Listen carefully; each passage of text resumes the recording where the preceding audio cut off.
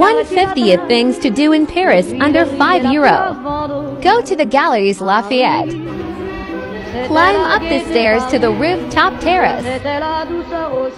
Enjoy the view for free.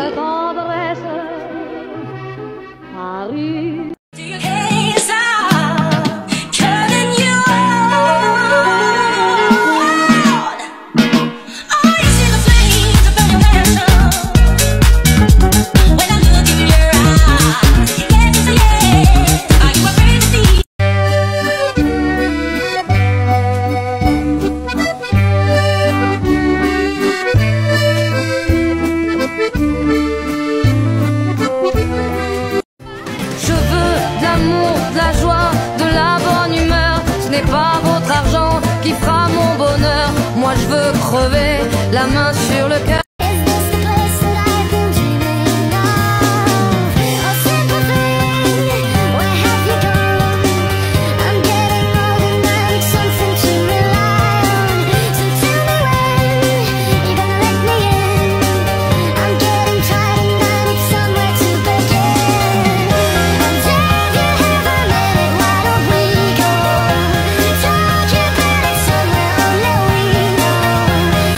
Is five days in Paris.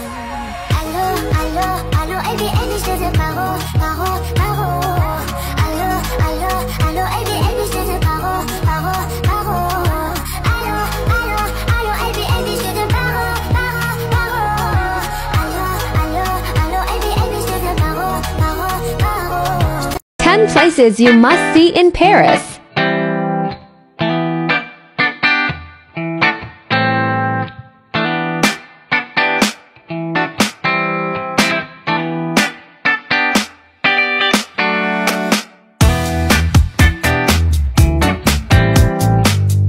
How to spend three days in Paris.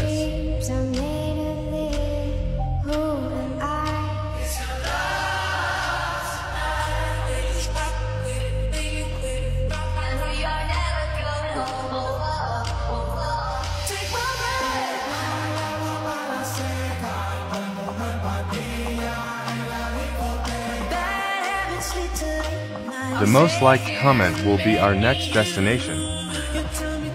30 things to put on your Parisian bucket list. 18. Go to the top of the Arc de Triomphe for sunset. Personally, I'd skip going up the Eiffel Tower and climb up here instead. Not only is it half the price to get to the top, you also get a way better view looking over the Champs Elysees and, of course, onto the Eiffel Tower itself. To get to the top, you climb up this giant spiral staircase. Honestly, makes you a bit dizzy. Then you walk out onto the open terrace at the top and you get panoramic views over the city. And if you want to get the most epic photos, make sure you time your visit for sunset on a clear day. Trust me, you will not regret this decision.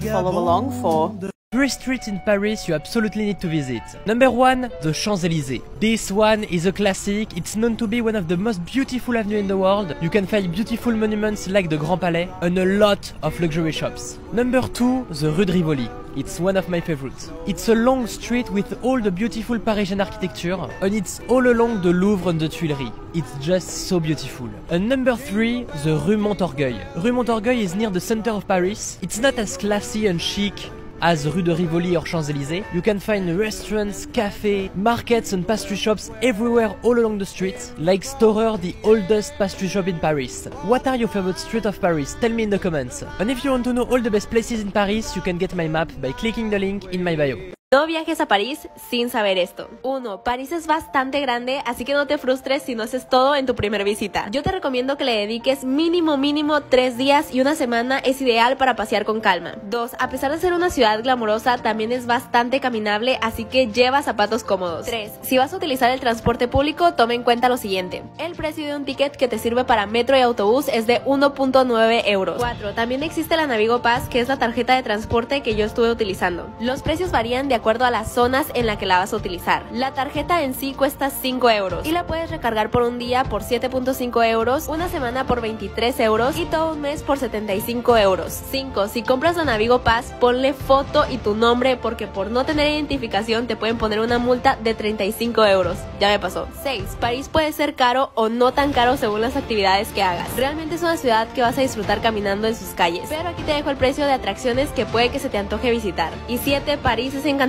pero igual debes tener cuidado porque hay estafadores. No aceptes jugar nada con nadie, firmar peticiones o apostar dinero. Guarda este video y comparte a la persona con la que viajarás a París.